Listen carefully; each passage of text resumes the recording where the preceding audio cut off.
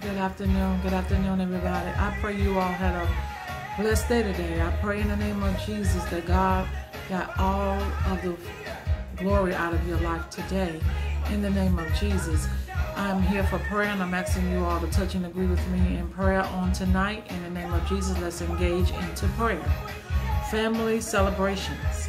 These days should be remembered and observed in every generation by every family and in every province and in every city.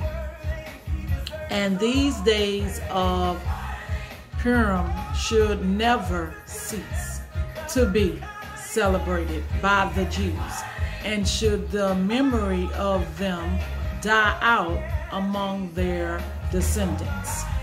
Esther 9 and 28. Lord, I thank you for the joy of celebration. Help us to be a family that remembers and gathers together, not just for birthdays and holidays, but even to celebrate the little blessing of life as we laugh and play, eat and drink, challenge and encourage one another. We are thankful for all that you have done in our lives. May we have good memories of our family celebrations. In Jesus' name, amen. God bless you all. Good night.